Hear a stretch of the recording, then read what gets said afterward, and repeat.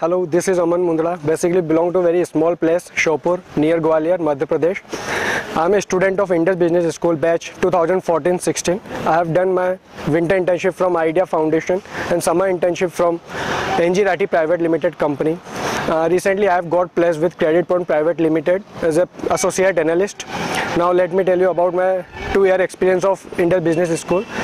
Firstly, I would like to thank Mr. Jay Singh Mahava and other faculty member for giving me this opportunity and helping me in grooming myself.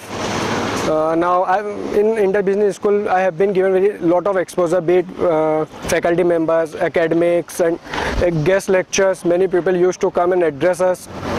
Now, and the most important part from my perspective is like placement. In placement, I got preferred location and the preferred vertical as well.